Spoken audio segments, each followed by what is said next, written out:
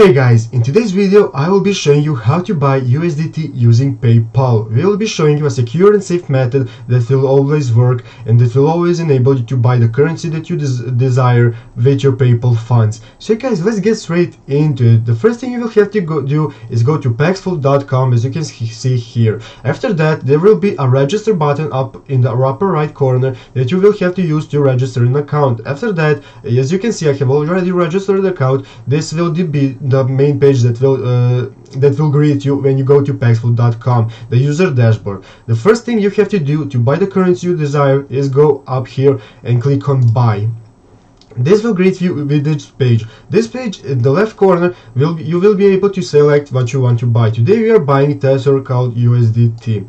First you select the currency that you wish. Then in the uh, lower option called pay via you will select this and you will have to find PayPal by searching PayPal and selecting it as a currency as a method that you wish to use to buy the currency on this website.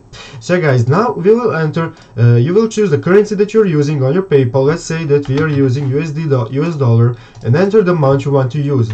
Let's say $15. We want to buy $15 of USDT.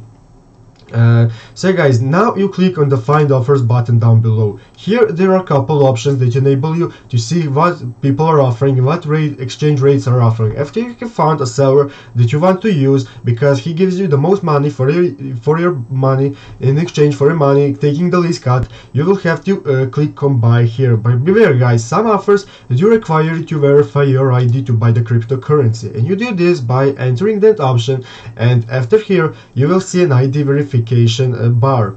Here you will uh, select, your country where you're from and then you're selecting the ID type that you're going to be proving that, that is you. You can select a passport or driver's license, something similar, and then start the verification process. This will require you to take a picture of your ID, but don't worry guys, this is perfectly safe. Paxful will not do anything mean with your um, uh, with your info, and they will take a couple of a day or maybe even less uh, to verify your account, and then after you, they have verified your account you will be able to buy from these verified uh, sellers. And this these are probably the most safe sellers. But yeah guys here as you can see this seller doesn't require verified ID and I'm going to be showing you how what to do and how to buy currency from a seller after you have verified your ID so guys the thing you will be looking for is in the right corner called buy you will click on the uh, blue buy button. Here you will be greeted with a page that enables you to select how much you want to spend, uh, how much you want to spend, and how it will show you how much you will get uh, for that money. You can see here, guys. I have entered. I want to pay fifteen dollars.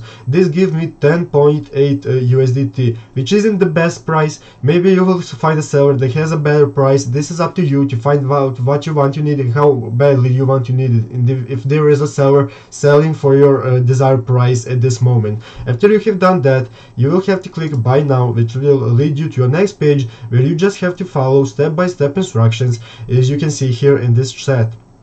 Uh, this will give you exact instruction how you can make the payment. But basically all you have to do is after they have given you their paypal email you will have to email uh, send them 15 us dollars on paypal. After you have done that uh, you you will have to wait for them confirm that you have sent them money and they will in exchange send you money on this website which will go back into your wallet in your funds where you this uh, currency will be available for you to spend any way you wish even by pulling back that currency and exchanging money uh, to your credit card or something similar. So yeah guys, this is the basic method. If you have any questions, make, make sure to let me know in the comments and I will be sure to help you. So guys, th thank you for watching and take care.